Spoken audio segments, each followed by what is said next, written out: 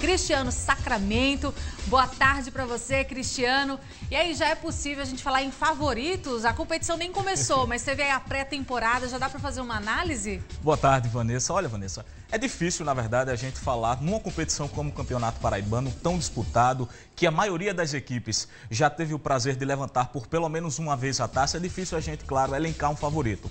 Mas existem aquelas equipes que, sobretudo pela questão do aporte financeiro, chegam mais fortes. Esse ano, Botafogo e 13 largam um pouco na frente nesse quesito do aporte financeiro, porque são equipes que vão disputar a terceira divisão, ou seja, elas estão. É, o cenário é mais propício para essas duas equipes. Mas nós temos grandes surpresas que estão se revelando, principalmente nesse processo aí de, de, de preparação. O Perilima, por exemplo, que empatou com o esporte durante essa semana. A gente tem o esporte de Patos, que também vem muito forte, o Nacional, Atlético de Cajazeiras, enfim. É, é, é difícil a gente elencar o, o, favorito já de início, mas as equipes de Botafogo e 13, elas chegam um pouco à frente das demais por conta do aporte financeiro, na minha opinião.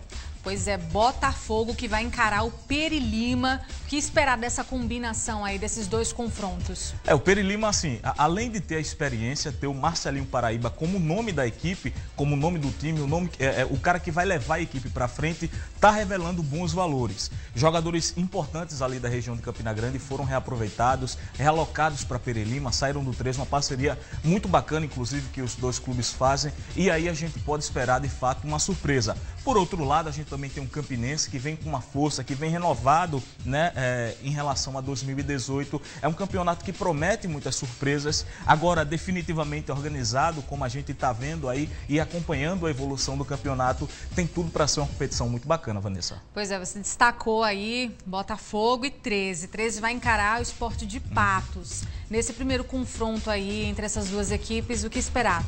É um outro adversário, é, dentro dos que eu falei, que é um adversário que pode dar trabalho às grandes equipes. E aí, é, uma característica muito é, peculiar dessas duas equipes, que são equipes que jogam muito à frente. O, a exemplo do Maurílio Silva, por exemplo, que é técnico do 13, ele gosta sempre da equipe é, muito veloz. E aí, do outro lado, uma das marcas do esporte de Patos na segunda divisão disputada foi justamente essa velocidade. O time chegou ali bem pau a pau com a equipe do Perilima na, na quantidade de gols realizados. Ou seja, tem uma, é, uma propensão a que seja uma partida baseada em um ataque muito veloz das duas equipes. Bom, Cristiano, para encerrar, próxima semana também tem a Copa do Nordeste. Terça-feira a gente vai ter transmissão ao vivo aqui, é, a partida entre Náutico e Fortaleza. O que, que a gente pode esperar desse dia, né? A gente está contando aí os dias para essa transmissão, a gente que gosta de fazer essa cobertura, mas o que esperar nessa partida? Olha, Vanessa, um grande jogo, sem sombra de dúvidas. De um lado, a gente vai ter um trabalho muito importante feito pelo Rogério Ceni no Fortaleza de reerguer, o, o clube se reergueu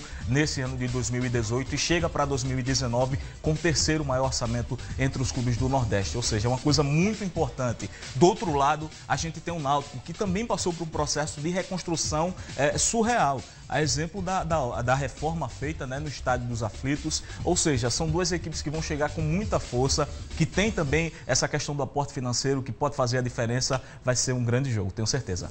Tá joia, Cristiane. E a gente vai acompanhando também, porque no mesmo dia vai ter o jogo de Botafogo e Santa Cruz. É Muito obrigada, então, pela participação, Cristiano. Até mais, Vanessa. E a gente vai para